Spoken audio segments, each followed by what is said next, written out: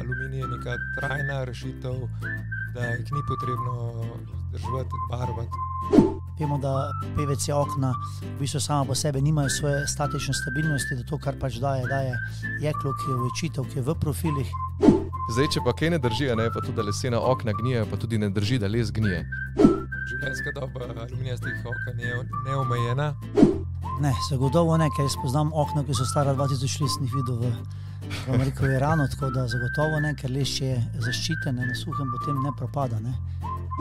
V bistvu vsi materiali pač morajo imeti primerno, eh, primerno okolje, v katerem lahko preživijo. Če pač imajo tam, kjer pač ne škodi, pač se to pozna potem. Meni se zdi ključno, da gledamo celostno, ne samo, koliko so trajnostni naši produkti kot okna, ampak koliko smo mi trajnostni kot podjetja. Za Kitajce ni važen oglični vtis, eh, mi smo pa tako lepi, pa tako dobri v Evropi, je pa zelo, zelo dober. To plačujemo, to ceno. Če ugrajujemo mi slovensko smreko, je vse v redu. Ampak če pa ugrajujemo sibirski macesni, to prepotuje tisoče kilometrov šleperji.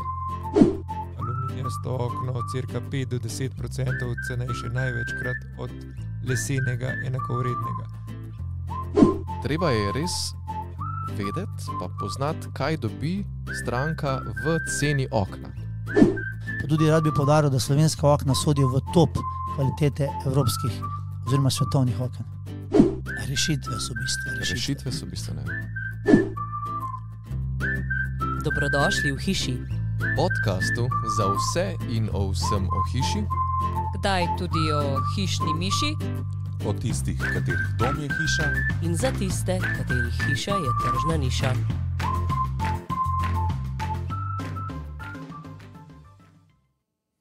Drage poslušalke in poslušalci, pozdravljeni in dobrodošli v 20. in zadnji letošnji epizodi podcasta Hiša.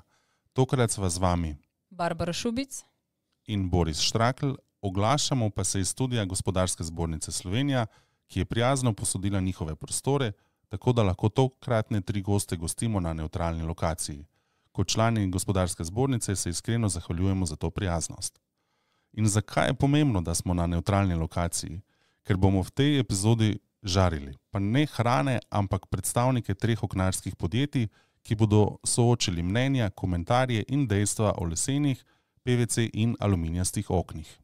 Pa da predstavimo današnje naše goste. Franci Plibršek je direktor podjetja Mik Celje.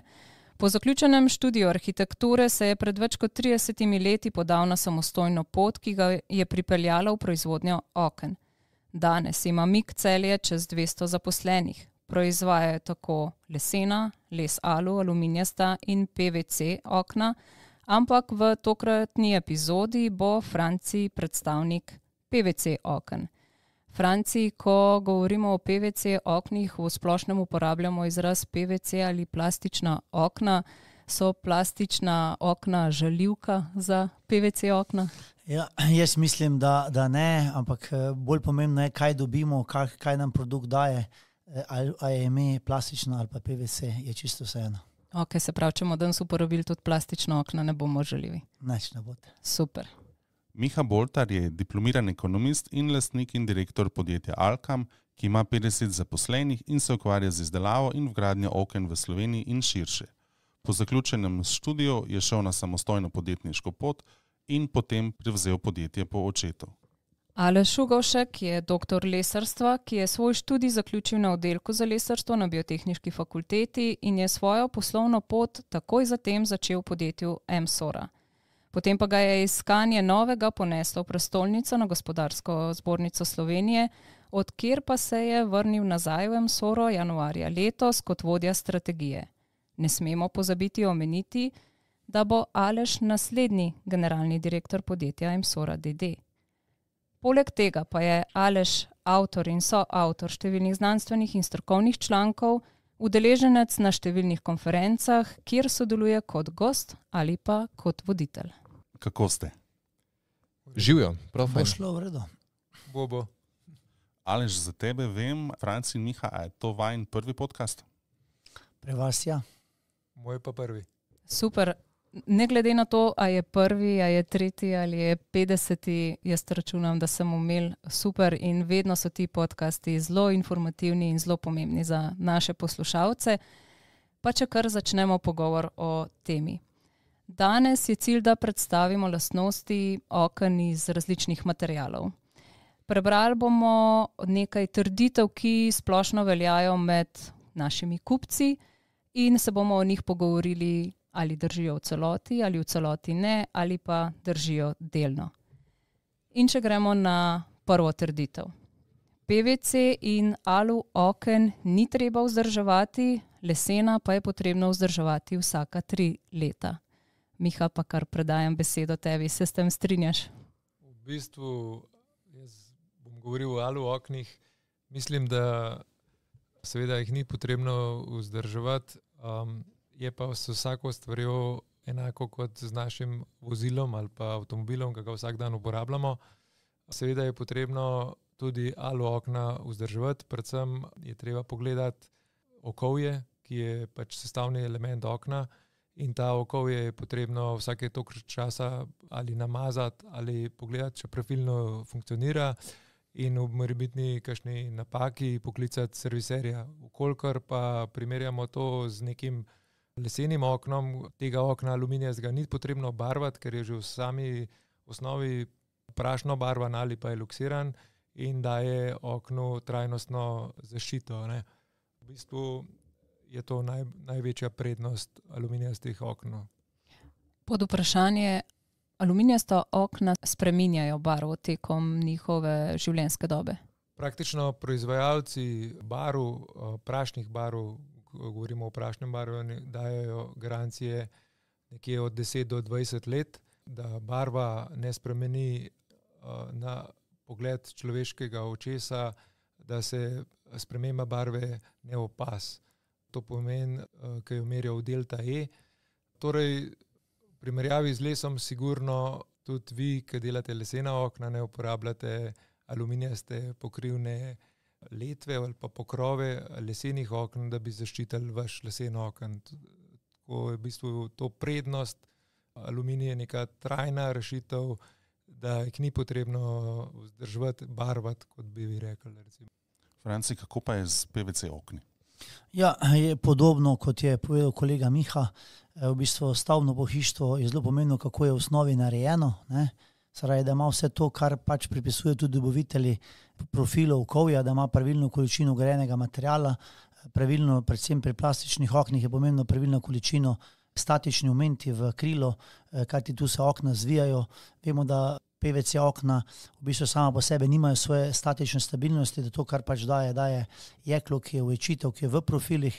To, to je ena glavna stvar, če je okno pravilno narejeno in tudi pravilno zastekljeno, potem načeloma razen vzdrževanja okolja, načeloma ni potrebno stvar. Zelo pomembno pa je, tudi ena velika prednost, ki smo jo mi začeli uporabljati, je, da uporabljamo že STV trake oziroma lepljeno steklo noter, kar pomeni, da ni povesov, velika, zelo velika prednost pri servisni službi, tako da, da načeloma potem pride samo še kakšna kapljica olja pri okolju, da pač to steče.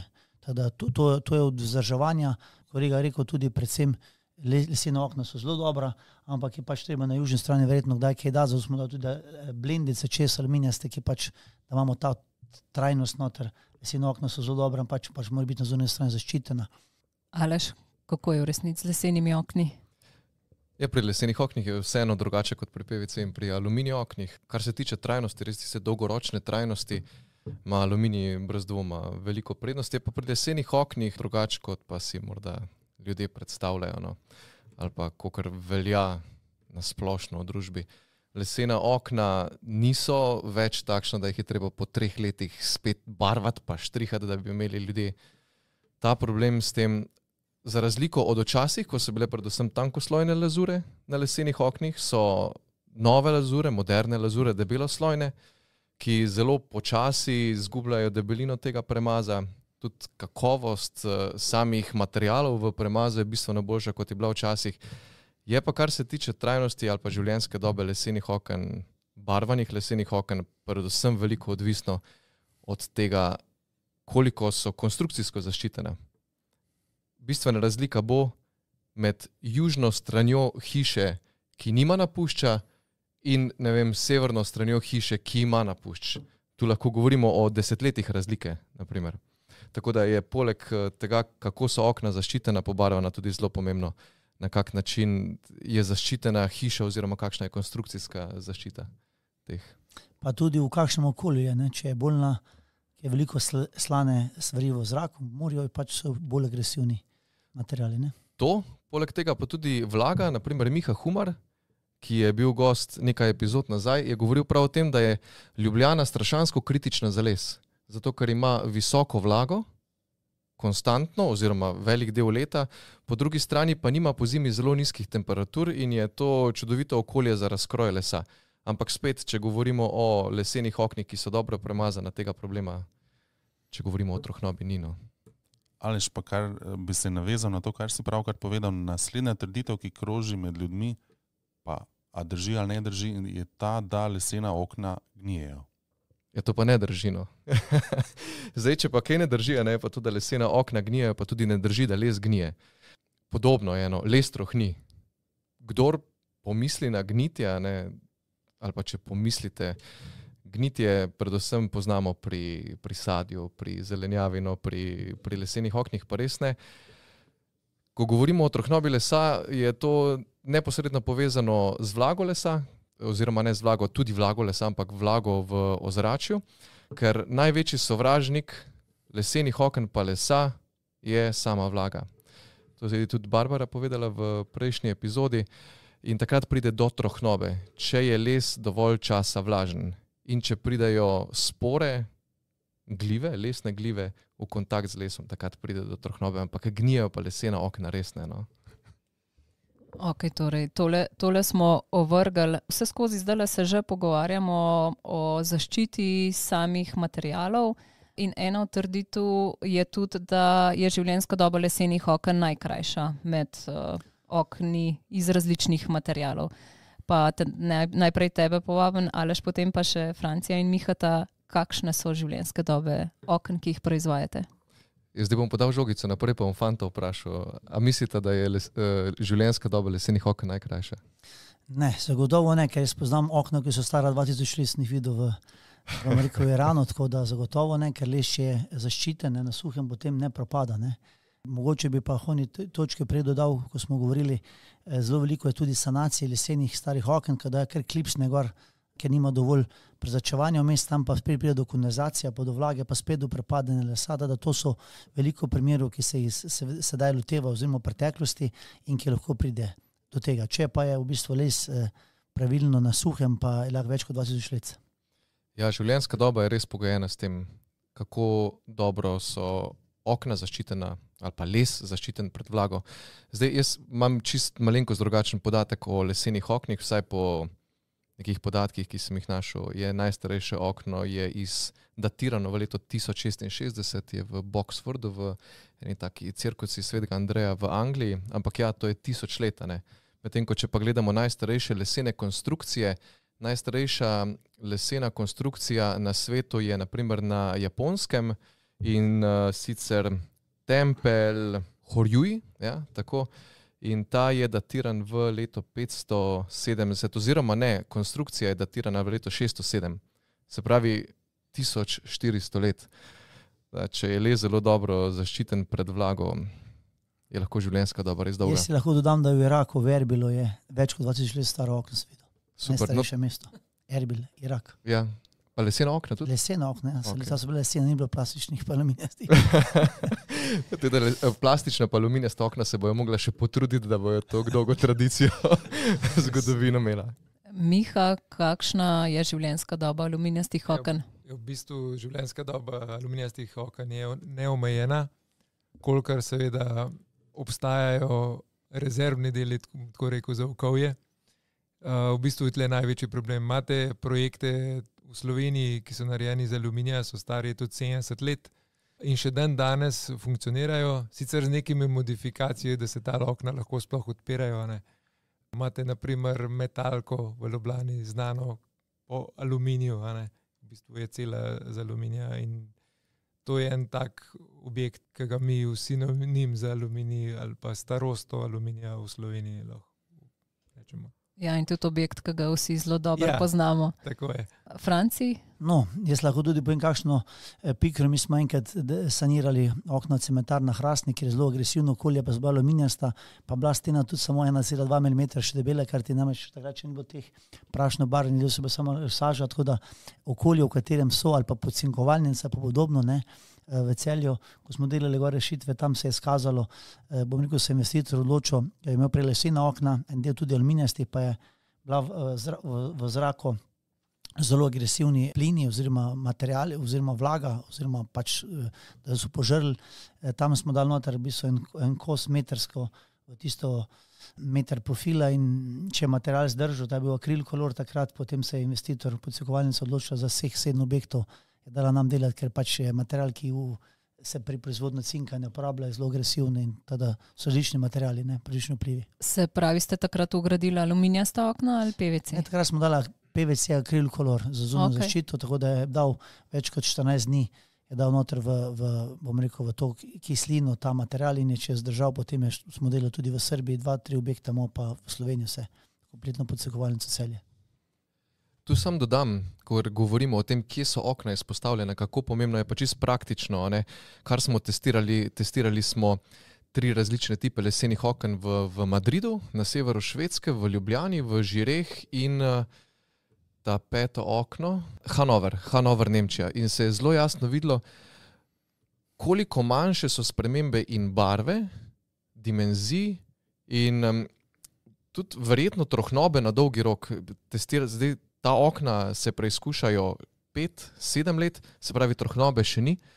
Ampak ta razlika, naprimer med Madridom, ki je izrazito suh in vroč, pa Ljubljano, ki je izrazito vlažna, pa naprimer severom Švedske, kjer je spet suho, ampak zelo mrzlo, to so enormne razlike. In zato so tudi verjetno najstarejša okna so na takšnih delih eh, sveta, naprimer Ja, Irak, Iran, suho, vroče. V bistvu vsi materiali pač morajo imeti primerno, eh, primerno okolje, v katerem lahko preživijo. Če pač imajo tam, ki pač jim škodi, pač se to pozna potem kar hitro. Ne samo, eh, ne samo na okolju, ki je pač najbolj izpostavljeno, predvsem ob morskih. Vem, ko smo delali okna za Karibe, ne, je pač tam mora biti plastika drugačna, mora biti okolje drugačno. Skratka, ta obmorski svet je kar, kar agresivno, ki vpliva na, na, na, na vsa okna. Ne. Prehajamo pa na besedo, ki je zelo modna, pa upam, da ne bo ostalo samo pri tem, in sicer trajnost. Ali drži trditev, da so lesena okna trajnostna, PVC in alo okna pa ne, ker je les naraven material, aluminij in PVC pa sta škodljiva za okolje? Kdo bo Ja. začel? Ja, mislim, trajnostno, zdaj glede trajnostnega se veliko pogovarjamo, veliko modernih, bom rekel, bom rekel muh, trendov, pomembno je, koliko količine energije je vloženo v sam produkt. Ne, tlele pač na eni strani ima les zagotovo prednost, ne, ker pač eh, plastiko vemo, da dobimo z nafte ven skupaj, prav tako za aluminij porabimo veliko energije, eh, da dobimo te profile, tako da treba imeti, koliko je količina proizvedene energije. Porabljeno, da lahko okno dobimo, skratka, od začetka do konca, in to je tisti najboljši kazalnik. Je pa res, da veliko o tem o trajnostni govorimo, po zeleni energiji skupaj. Pač, eh, recimo, bom dal eno kost, no, zravi, glede pravijo, koliko prešparamo na svetu, se porabi približno 40% energije za ogrevanje, hlajenje, eno 30% za bom rekel, promet in 30% za industrijo. Ne. Če tako nekako kažemo, je v teh 40%, ki je za ogrevanje, da se pravi 50% za ogrevanje, hlajenje in 50% za prezračevanje. Zdaj, če naredimo dobro okna, lahko prešparamo tam med 35 do 40% energije, kar pomeni, da, smo prešparali tam okoli 8 do 10% CO2. Ne. E, Če pa urejamo prezračevalne sisteme, ki imajo eh, vsej 80% ali več rekuperacijo na 75% moči kapacitete, pa lahko prešparamo 16% CO2, brezoglično. Tako da po, po teh podatkih je v bistvu prezračevanje ima največjo prednost. Bom rekel, pri tem brezoglično res pa je, če ne prezračujemo, potem nič ne prešparamo. Ne. Miha, so aluminijasta okna trajnostna. Ja, jaz menim, da so, seveda. Uh, je pa res, kot je Franci povedal, mogoče najmanj energi, energije vloženo v leseno okno, ker za proizvodno alu profilov je potrebno kar nekaj energije. Ampak vsi pa tukaj pozabljamo na bistveni element, ki ga ima okno, ne? to je steklo. Ne? O steklu zdaj nismo nič govorili, v bistvu je pa dosti velika znanost v steklu. In kot vem, ste imeli v eni od vaših oddaj tudi enega gosta, ki je malo več povedal tudi v steklu in je tudi dosti zanimiva oddaja, sem jo tudi sam poslušal. V bistvu steklo je pa porabnik rekel, energije enak pri vseh. Tako da v bistvu, ker okno, pa okvir, alu profil, PVC ali le, lesen okvir predstavlja mogoče vem, 10 do 15 odstotkov okna. Tako da v bistvu so minimalne razlike. Preden Aleš dam še te besedo, res je, steklo je pač del ali pa en, en večjih delov gradnega elementa samega okna. Pa če ga jih malo pustimo ob strani, a poznate deleže reciklabilnosti vaših materijalov? Se pravi, če ne gledamo samo uh, energijo porabe za izdelavo prvega okna, ampak koliko materijala v deležu se lahko uporabi kasneje ponovno. A imate ta podatek? Ja, naša, bom rekel, mi, mi recikliramo 100%, skratka, nimamo odpadka, ne? tudi pri sami proizvodni. Odpadki se vsi reciklirajo, PVC profilov, kar se tiče eh, jeklo, se tudi reciklira steklo, tudi če kaj razbijamo, oziroma če ljubimo nazaj, skratka, tu je pri nas 100% eh, reciklaža, razen teh upilkov, pač, eh, ko so pač malo pomešani, tako da iz tega, iz tega je za svojo skupino lahko povem, da je to. Zdaj jaz mislim, da je v veliki meri možno reciklirati. Čist 100% bo težko, ne? ker dejstvo, da vemo, da so okna opremljena z nekim okoljem in da ja se ta okolje vse odstrani iz aluminijastih uh, kril ali ukvirjev, ki jih, uh, ki jih v bistvu, uh, ko jih menjujemo, je to težko reči, ampak načeloma je to v bistvu aluminij material, ki ga lahko recikliramo brez problema. Pa se s tem dejansko ukvarjate, se pravi, vzamete nazaj okna vaša ali pa od katerega koli drugega, ko vi ugrajujete nova okna in uh, imate vzpostavljen sistem reciklaže? Da, seveda, mi v bistvu vsa okna največkrat tudi moramo demontirati in ponovno montirati nova. Ne?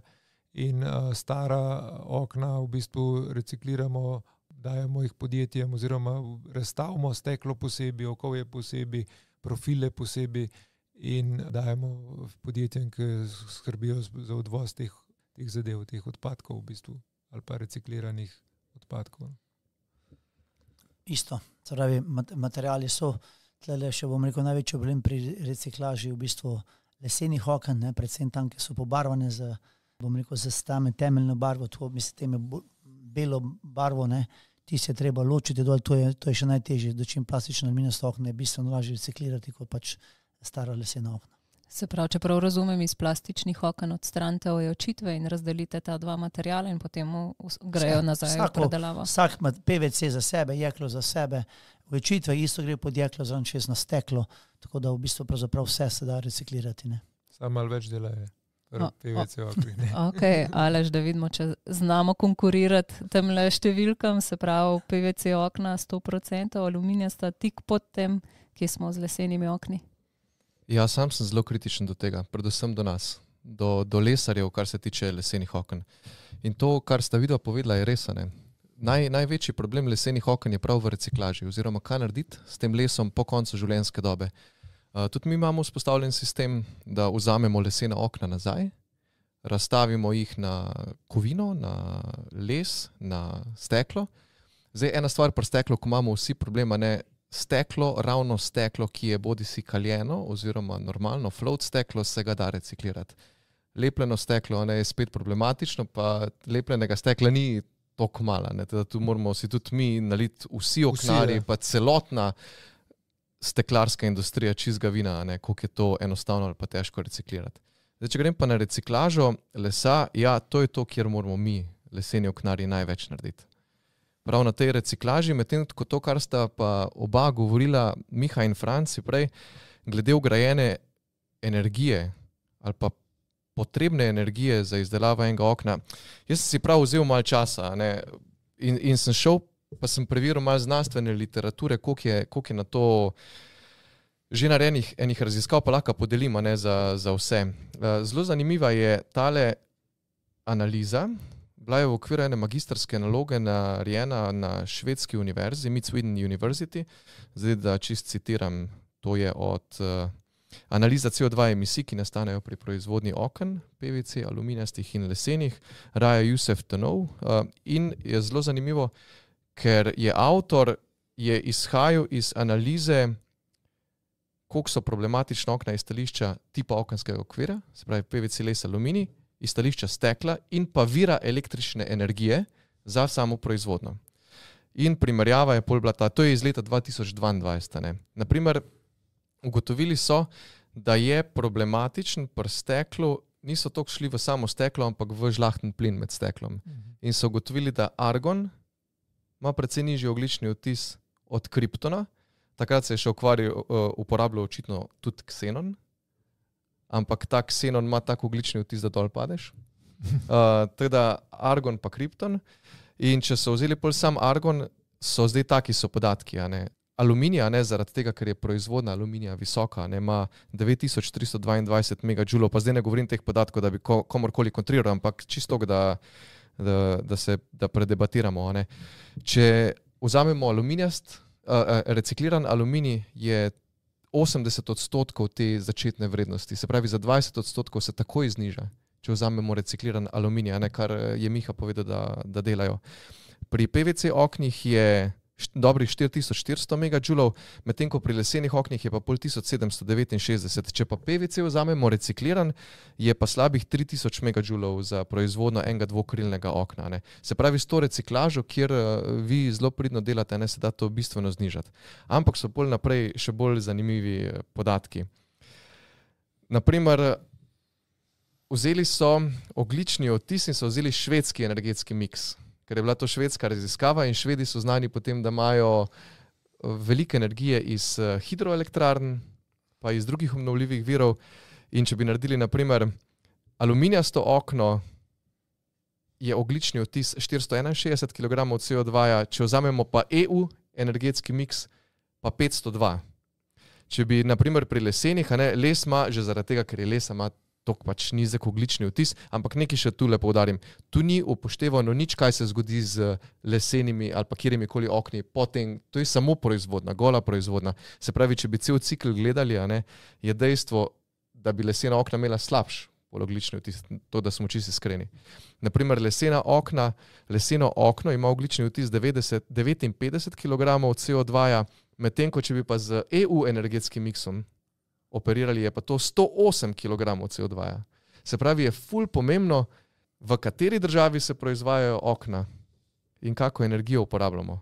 In če zdaj zaključim nekako s to trajnostjo, meni se zdi ključno, da gledamo celostno, ne samo, koliko so trajnostni naši produkti kot okna, ampak koliko smo mi trajnostni kot podjetja, koliko je naše delovanje trajnostno.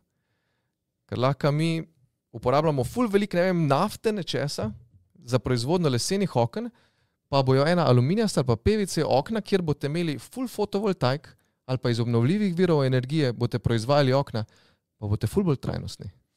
Ja, tle bom rekel, ko se tukaj pogovarjamo o tem CO2, jaz sem zadnjič na neki nemški, eh, bom rekel, slovenski CR zbornici povedal, da bom rekel, Evropa eh, se te, te, te energije pa CO2 kuponov ne zna iti, ker v bistvu evro je padel za 15%. Ne. Primer, v Nemčiji so zaprli fabriko, pa v Kidričevem fabriko za proizvodno aluminija, ne, eh, ki so proizvajali recimo 100 enot eh, CO2, ne, ker pač je elektrika predraga, pa CO2 kuponi, pa ne vem kaj gor naprej. Ne. Zdaj pa kupujemo aluminij, proizveden na kitajskem, ki pa fabrika izda desetkrat več CO2. -ja. Zdaj, Evropa zdaj uvaža aluminijaste trubce ne, za proizvodnjo potem aluminijastih in drugih profilov za Kitajske za desetkrat več CO2, mi pa smo na enem planetu, ne, ali zdaj spodaj, ali levo ali desno. Tako da tle smo vsi mal blond, moram priznati te pozicije.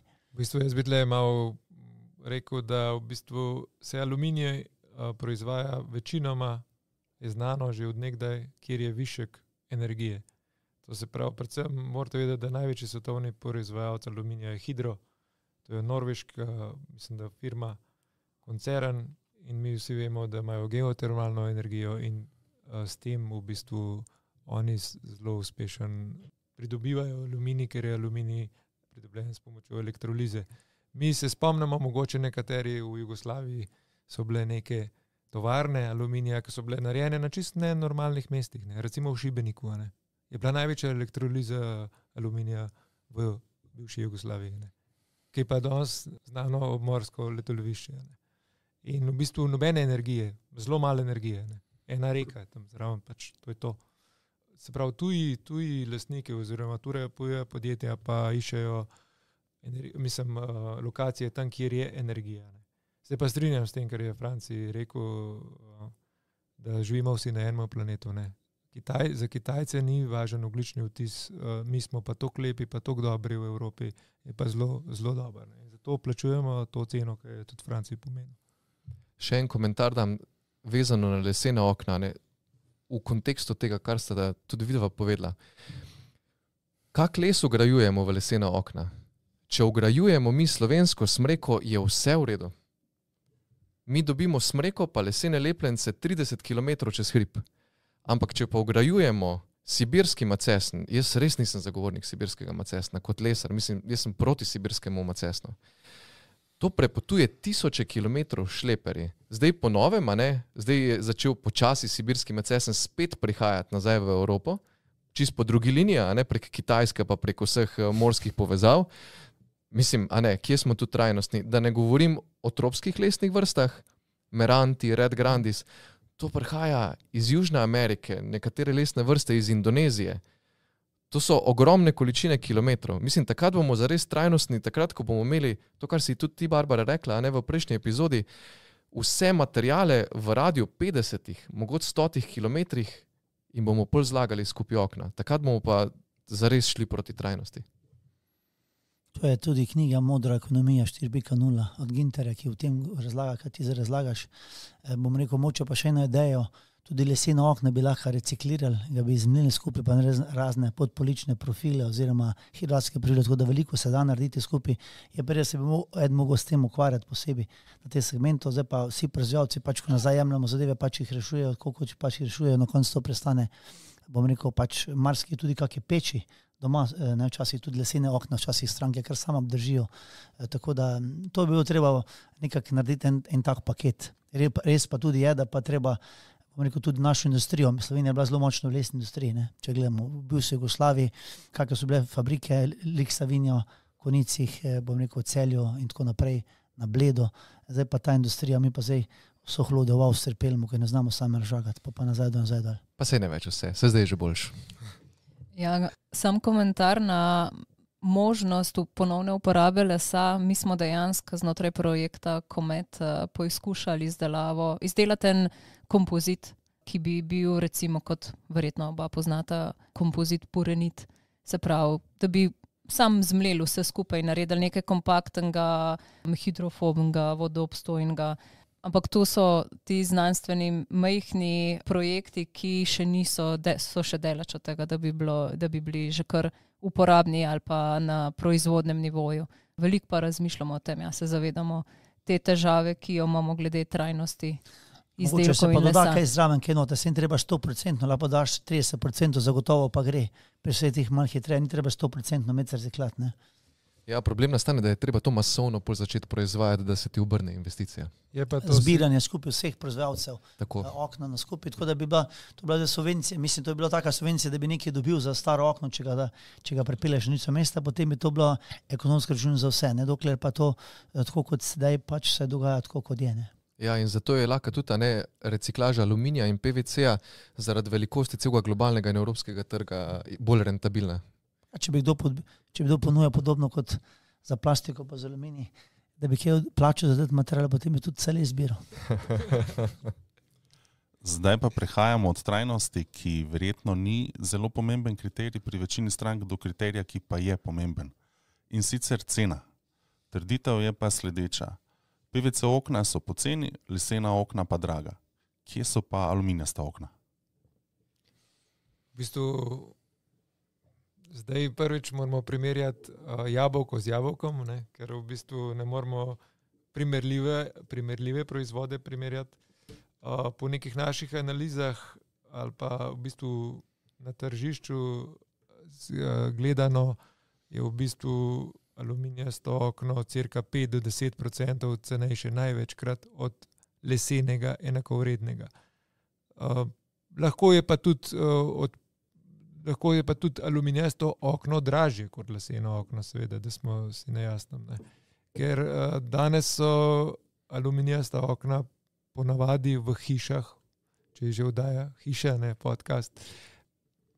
Moderna, minimalna, minimalizem, um, v največji meri se želje strank, da profilov sploh ne vidimo, oziroma aluminija pa praktično ne vidimo, ali pa ga čim bolj minimiziramo. Uh, torej, tam so cene, seveda, neprimer, neprimerljive ali pa težko primerljive. Jaz sem izdal, uh, naše voditelj je izdalo eno knjigo, kako, iz, kako do oken, material in tako naprej. In tam smo zapisali, mislim, pred osmimi leti, da imamo hišo, ne vem, 250 kvadratnih metrov. Če imaš plastično okna, sraj okna, police, rolete, pač to stane nekih 100 enot. Ne? E, če daš pač zraven e, folijo, PVC plus folija, pride tam okoli 110 enot, 108 enot. Če zameš akril kolor, pride 118 enot če zameš les, je bil okoli 150 not, ne? in seveda, če zameš aluminij, pride okoli 160-170 not, les, les, les aluminij, zaradi še malo mal dražji, pa okoli 180 do 200 not, tako da tako je nekako, če primerjaš srave skupaj, srave okna, rolete ali žaluzije, police, skratka, vse kompletni mik, zaveš, da ne gledaš sam, samega izdelka. Ne? Ker normalno pa to, kar je Miha povedal, treba vedeti jabolko, jabolko. Če imaš nek drsno okno ali pa zelo tanke aluminijaste profile, ki si jih lahko prevoši aluminij, ki se ne more niti plastika prošiti, niti les ne skupaj, ker pač ne je statična stabilnost tega produkta taka, treba imeti eno z istim, ampak nekako je ta osnova 100, 135 za les, pa 160 do 170 za aluminij, pa okoli 180 do 200 za les, dober, ali seveda vse ustrezne, iste. Eh, karakteristike statične oziroma toplotne prevodnosti eh, okna. Ja, to je, to je tista pomembna stvar. Veliko krat ljudje ne, ne znajo primerjati jabolk z jabolkom. A je res iste kakovosti to okno, PVC, aluminij ali pa leseno okno? Ne? Je pa dejstvo, ne, da lesena okna so nekaj dražja, se je tudi proizvodnja lesenih okn dražja. Konec koncev se pri lesene profile naredimo v Sloveniji, v naših podjetjih, medtem ko aluminijaste pa PVC alu, eh, profile se pa pripelje se v, v podjetja, ne, v slovenska podjetja, kjer pol sestavljajo okna. Tu se verjetno naredi tista razlika. Se pa delajo tudi v Sloveniji. Se pa delajo tudi v Sloveniji. Lahko, profili aluminijaste govorim. Ne. Aha, ok. okay. Ker povej, Miha, naprej. Ja, ja, v bistvu imamo v Sloveniji podjetje, ki proizvaja aluminijaste profile. Okay. Ampak v bistvu se, je pa res, da se večinoma tega pripelje iz drugih držav, predvsem Evropske unije. Mm. Bi pa no to bi še rekel predceni. Treba je res vedeti, pa poznati, kaj dobi stranka v ceni okna. A dobi tudi rešitve za njegovo hišo. Ker zdaj, če kupiš okna iz katerega koli materijala in ti ne bojo ponudili njihovega know-howa za neke arhitekturne rešitve, bolj boš težko ti primerjal z proizvajalcem, drugim proizvajalcem okn, katerih koli, ki ima know-how, ki ti lahko reši na drugi strani, mogoče tudi par tisoč evrov na objektu s svojim know-howom, ki bi jih drugače dal za projektanta ali pa za arhitekta. To je tudi zelo pomembno. E, mogoče en dodatek, eh, vedno, ko kupujemo gradbeništvo, bilo ali okna ali hišo. To sem se naučil v Ameriki, zelo pomembno je, kakšen, what is my benefit, ne, kakšen koristi nas, torej, koliko energije prešpara, ne, koliko manj hrupa si zadrži, koliko bolj hrup, energija, varnost na okna, ne, koliko je varna hiša in kot zadnje, v bistvu, kakšen kvaliteto, kvaliteto bivanja ti nudi, saj, v tem, tem primeru mi zraven vključujemo tudi še kvaliteto bivanja, prezračevanje. To so nekako kazalniki, da tu kupuješ hišo, kupuješ okna, kupuješ to. Pomembno so ni, ali to pride od bilo katere podjetja, ampak samo kakšna je v bistvu benefite, ki jih nudijo uporabnikom, pa drugi strani pa tudi kakšna je življenjska doba, pa kakšen je ROI. Na koncu to so nekakšne kazalnike za vse gradbene materiale, ki pač kupujemo. Ne. Pa moje podvprašanje, ali vsa tri vaša podjetja nudijo te dodatne storitve, se pravi celotno podporo kupcem, ne, ne zgolj uh, izdelke, inženiring skoraj da.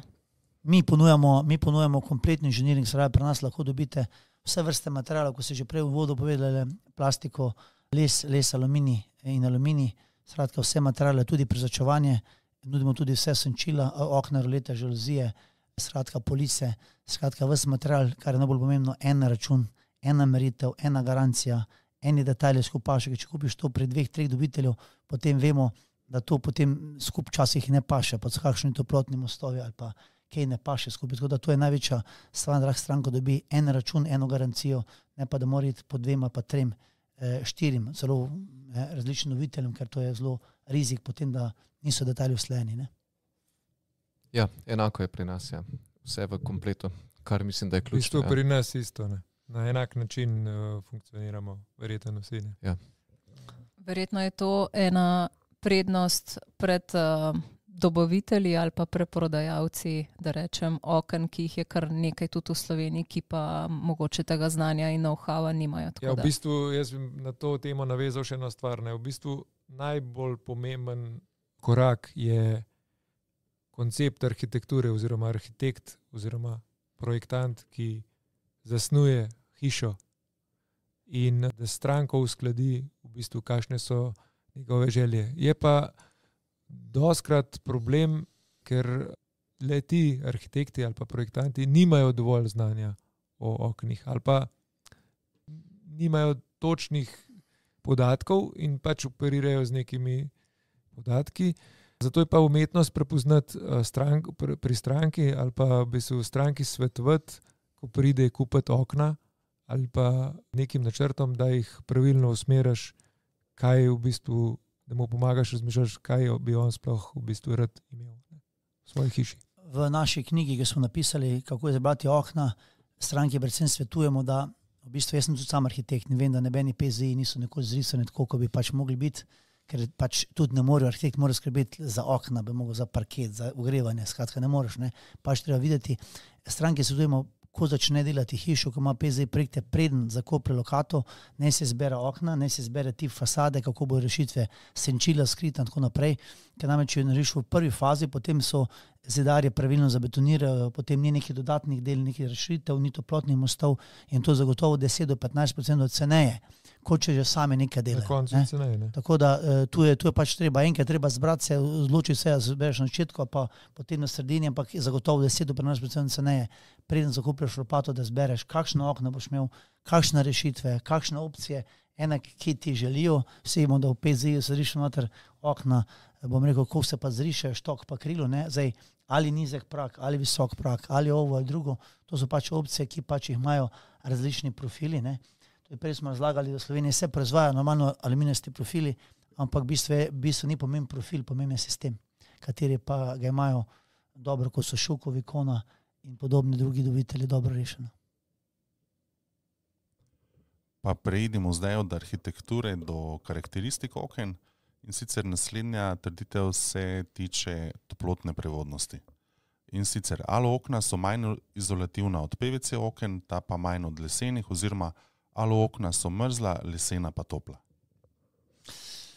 Ja, ne vem, zdaj bom tako rekel, če izmerite, če izmerite profile, potem boste ugotovili, da eh, naš sistem Kubus ima, eh, bom rekel, za steklo 0,5.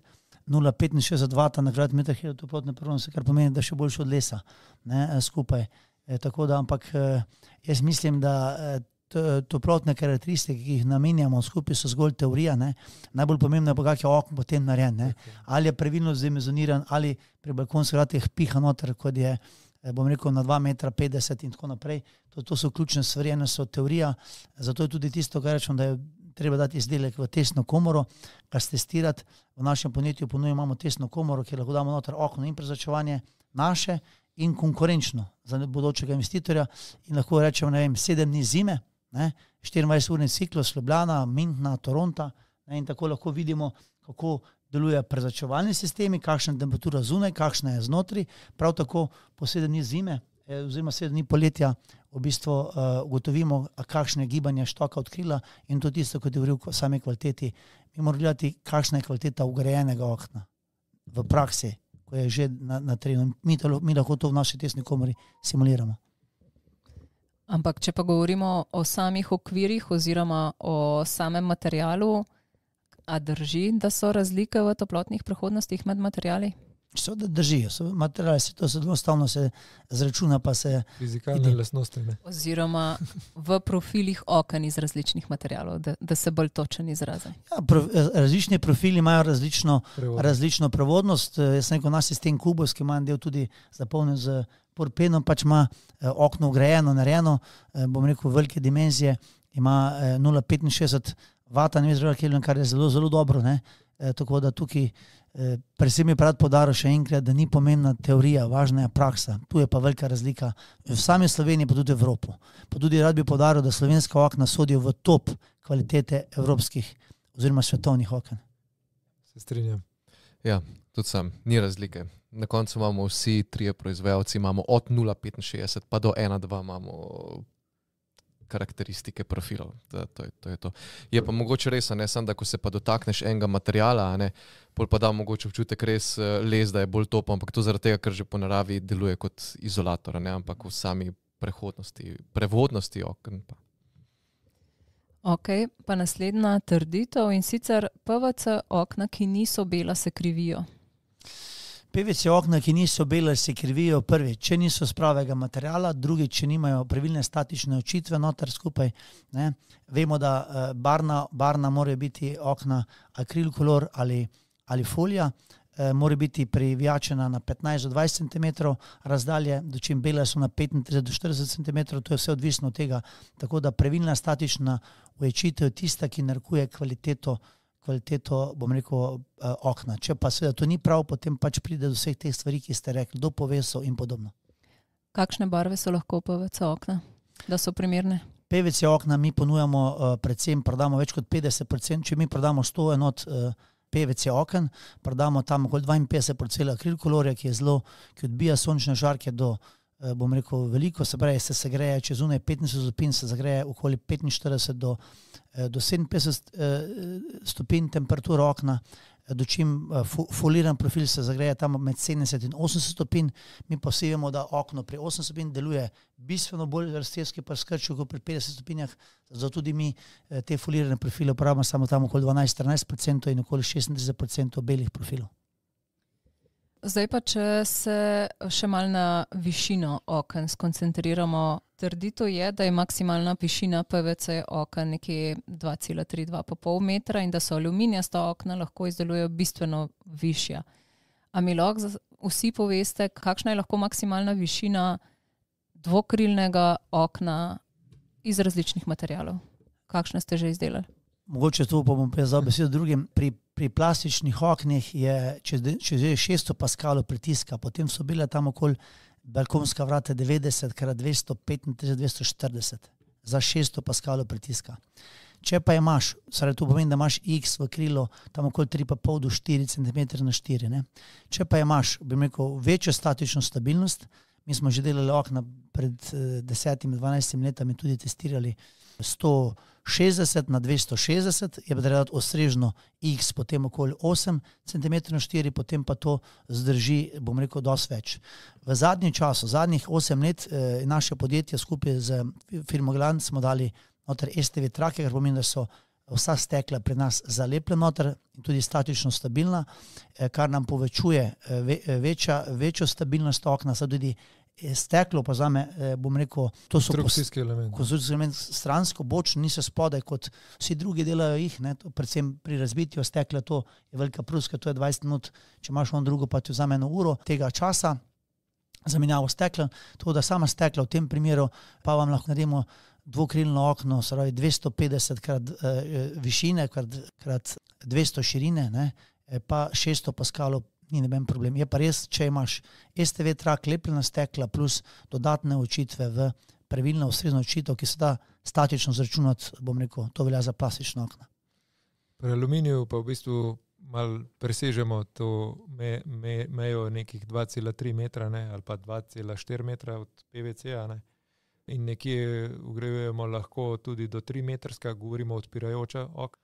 Eh, Dvokrilno okno bi nekje izdelali, seveda, z maksimalno višino krila, nekje 2,90 metra, 2,95 metra, seveda, enako kot je rekel Franci prej, se more ob teh zadevah um, stekla na določenih točkah enako ulepiti, ker vemo, da aluminij tudi tudi se ob temperaturno, pri temperaturi se razširi, oziroma pač raztezek aluminija en milimeter na meter približno pri delti temperature. Ne. Ja, pri lesenih oknih je spet odvisno od debeline profila. Ali imamo zdaj 68 profil, ljudje tega poznajo 68, pa 78, pa 92 profil. In zdaj, če govorimo o 92 profilu, pa lahko naredimo enega dvo, dvokrilno okno, ja, 2,30 m, 2,40 m. Če pa gremo više, ne pa ugradimo ojačitve noter, to so lahko jeklene ojačitve, lahko gremo do 3 metrov. Smo pa naredili ne s prav posebnim sistemom. Prvo, po mojem, mislim, vsaj jaz ne vem, za višjo drsno steno je pa visoka slabih 5 metrov. Ne? Čez dva štuka je pa res s posebnim pa patentiranim sistemom ojačitev, kjer je prednapeta ojačitev pa oblečena z lesom. Dobro, mi smo že 6 metrov visoko steno, ne samo govorili smo. Aš men pa smisel. Mi, smo go, mi smo govorili o dvokrilnih oknih, ne? Mi smo govorili o dvokrilnih oknih. Jaz imam ja, zdaj ja. v bistvu. Jaz imam plastično Tukaj... okno 3,30 m krat 2,10 m že na starem podjetju, že noter 22 let, tako da pa še vedno funkcionira, če je pravilno status učite narediti. Tako da to je vse odvisno. Se, to se da zračunati, to ni tako problem. Ne? Je pa res, da v tem, kar smo prej govorili, so pač nekako mere. E, bi pa rad podaril, to je res velik problem. Ne? Zelo veliko okna, arhitekti forsirajo velike višine, ampak če nimaš ustrezne statične stabilnosti okn, potem pride do velikih povesov okn. Tudi pri okolju, ki ga imamo noter, ima določeno teže, kuk lahko krilo prenese in vse to narekuje. In največja razlika, to bi rad povdaril, eh, pride predvsem v tem, ko damo mi kupmo okne, pogledamo predračun, pa list papirja. Ne? Jaz sem zadnjič imel v Nemčiji, smo montirali, mislim, da pred tremi leti, štirimi letami, mi šest blokov, pa, 13, pa sedem blokov, na nemška firma. So bili šikoti v okni. Ne? Na koncu je bila razlika predvsem ta, da so se eh, firma, ki nam je nosila okna v vsak štuk, da smo jih hitreje lahko zmontirali, ne? Eh, se je pritoževala, zakaj so naša okna težja, kako imaš ti okno 100. 160 na 250 visok je, pa 240, potem je, ne, se kar pozna neki kil. In kaj smo ugotovili? Ugotovili smo, da ta okno naš je takrat vagal z istim steklom, bom rekel 138 na 240, bom rekel je vagal 122,4 kg, dočim nemško okno je vagal sam 119,2. Torej, 10% je bil lažji z istim steklom, kar točno vemo, da je bilo noter manj okove in manj železja. Ne? Tako da to so tu stvari, da, da v bistvu, ko okne kupujete, če ne veste, jih navago, da je to nekaj. Te iz Nemčije so imeli manj ugličnega vtisa. to so Nemci delali. Ja. Zdaj pa se dotaknemo mita, ki je bil včasih zelo prisoten, mogoče danes malo manj, pa vseeno. Trditev je pa takšna: lesena okna dihajo, PVC in alo okna pa ne in povzročajo kondenziranje in plesen v prostorih. Ne, to pa ne drži. to se bom pa oglasil. Ne, ne, ne, to sem tudi zelo hud do tega. Mislim, spet sem hud to do naših, a ne lesenih oknarjev, da pridajo tja na sejma ne, in pol, pol ljudem tam prodajajo zgodbo, da lesena okna dihajo. Ni res, lesena okna ne dihajo. Mislim, mi, leseni oknari, se ful trudimo, da bi naredili večna okna, trajna okna, premaz tak, da ti ne bo treba barvati 20 let, 25, 30 let. Mislim, po kakšni logiki lahko lesene okna dihajo. To je iz starih časov. Ne? To je iz starih časov. Včasih so, včasih so dihale, ne so, včasih so vsa okna dihala. Ja. Ne, ja. Jaz pravim, da si štafel, bom rekel, čez usta, čez pa vidiš, če lahko diha skozi, če te gre, ne gre. Ne? Ja. Ne? Poznam en les, ki zares diha ne? in to je zelo lahek les. Govorimo o lesu Balze, ki je skoraj kot stiropor, ampak ima celice in čez, ta, čez to lesno vrsto lahko pihneš, ta bi recimo dihal, ampak niti približno ni trajen. Ga nimamo med izvajalci okna. ne bi bil kot izolator. Evo, počasi se približujemo koncu, pa imam jaz, uh, oziroma ena trditev je še, uh, jaz jo bom pa še malo nadgradila in sicer aluminijasta okna so bolj primerna za ugradno v betonske in zidane objekte kot lesene. Uh, Moje vprašanje je, ali je od vrste gradnje, se pravi od vrste materijala, same konstrukcije gradnje, odvisno, kakšen, kakšno okno bomo gradili? Ne. V bistvu tip okna ne vpliva na konstrukcije. V bistvu vsak okno mora biti pravilno statično narejen, z, z, eh, bom rekel, zračunan in to je to. Zaradi okna ni, ne, da bi bilo v bistvu neodvisno, lahko je leseno, lahko je plastično, lahko je v bistvu eh, aluminijasto. Jaz mislim, da tukaj stranke, predvsem, če mi je blizu, en je blizu aluminij, eh, devajo aluminij, en je blizu les. Les je zelo lep material, uporaben samo mora biti na take strani, da, ni, eh, da ni, ne prije do vlage. Ne. Ja, v bistvu, ja, odvisno od, od naročnikov, se pravi, vsak si, vsak, vsak si zbere po želji. Ne vem, nekdo ima željo za les, nekdo ima željo za aluminij ali za PVC, plastiko, ampak ne, v, ne, v, ne vpliva na konstrukcijo, osnovno konstrukcijo, v katero se to okno ugrajuje. Res, drži. Verjetno pa v leseno, v res lesen objekt bolj redki dajo. eh. PVC ali pa aluminijasto ja, okno. Ja, to. Ampak res, to, kar smo že večkrat danes podarili, v Sloveniji imamo ful dobro okna iz vseh materialov, sam ta pravimo ponudniku pejte. Ne jih kupovati poceni, pa gledati, kateri bo najcenejši, ker na koncu stranke ne bojo zadovoljne s tem, kar bojo dobile. Rešitve so bistva. Rešitve. Rešitve so bistvene. Jo, zdaj ste to lepo zaključili, da, da bomo skoraj zaključili. Zdaj smo konc temi glavnimi trditvami in uh, res ste, mislim, da zelo lep prikazali prednosti in pa tudi kakšno slabost posameznega tipa okna, predvsem pa ste zelo lepo udarili, da imamo v Sloveniji top okna in najboljša okna, um, ne samo v evropskem prostoru, ampak tudi na svetu. To vemo vsi, ki se že kar nekaj časa ukvarjamo z okni. Zdaj pa sam za hip skočimo še v prihodnost. Francije sem gledala en posnetek vašega podjetja, en tak zelo lep video ste imeli narejen, v katerem si rekel, v dobrih časih je lahko biti uspešen, kako se bomo pa odrezali, sedaj bomo pa videli. To je bilo, mislim, da ob prejšnji krizi, ampak zdaj ena taka kriza se nam napoveduje.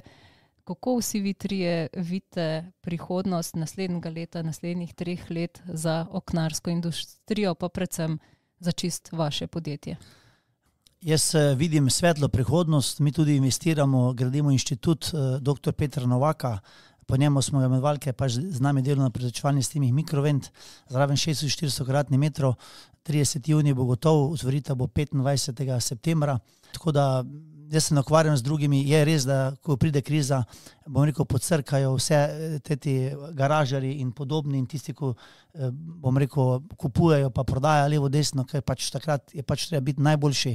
To, da mi smo preživeli že kar nekaj, smo že na trgu več kot 30 let in verjamem, da bomo imeli. Je pa da bo težko, enkrat je pač mal boljši, enkrat je mal slabši, ampak za ta prave vedno preživimo. Se strinjam, v bistvu v krizi, v krizo je treba priti dobro pripravljen, uh, tako kot v športu. a ne. Fita, ne? Ja, na tekmi moraš biti pripravljen. Ne. In pač uh, mislim, da je tudi mnenje, moje mnenje, da, da imaš tudi večji asortima, kot ga ima recimo konkurenca, da pri tebi lahko nekaj več kupijo ali nekaj jim lahko več ponudiš, kot pa pri sosedu, recimo, ne, pa pri konkurenci. Jaz se fulj veselim prihodnosti.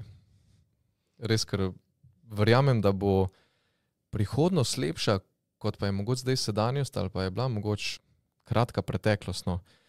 Zdi se mi, da gremo v eno pravo smer, drugače pa v krizi se skrči konkurenca. a Ne. V krizi se pokaže, kdo je pravi. To, in, in ne fajtaš samo s ceno. V krizi fajtaš s svojo prilagodljivostjo in s tem, v čemer si zares dober. No. Teda verjamem, da bomo vsi trije iz tega išli zelo dobri. Kadar je veliko povpraševanje, takrat imajo dobri proizvajalci veliko dela, pa tudi pride tisti, ki so slabši. Pa Pa ko sam govorijo, dobijo posel, ko je pa manj dela, potem pa ostane samo za ta prave. Ja, super, se pravi, se kriznih časov tisti, ki smo, ki so fit, uh, kar veselimo. a ne? Ja, mal, mal špeha smo si pustili vseeno. Hvala vam za koristne informacije, sledi pa par ključnih povzetkov pogovora.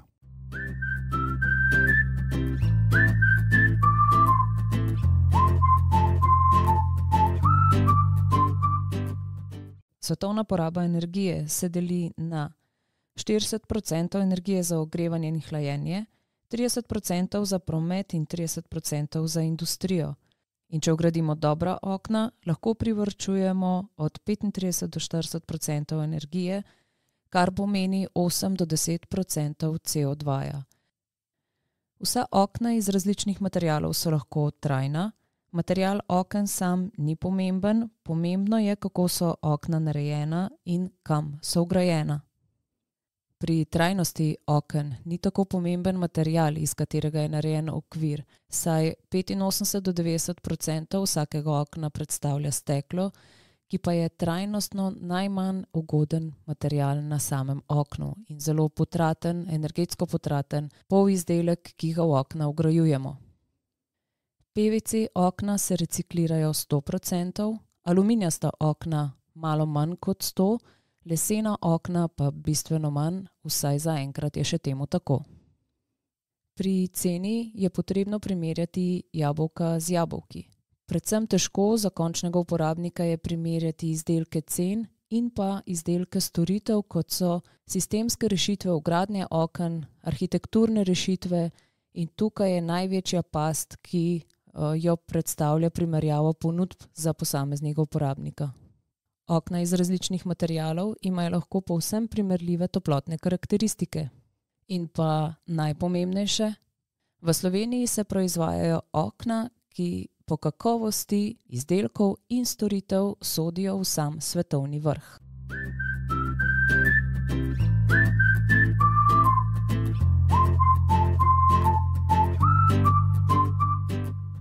Sledi pa še zadnje stalno vprašanje našim gostom. Vprašanje se pa glasi tako: kaj je v tvojem domu, kjer živiš, nekaj zares posebnega, oziroma kaj je tebi v tvoji hiši najljubše? Miha, pa bi kar s tabo začeli. Cel življenje sem bil v doma v hiši, potem sem se kasneje preselil v, tudi v hišo, ampak v center mesta, kjer ni vrta. In moj uh, najboljši prostor v hiši je terasa, zunaj.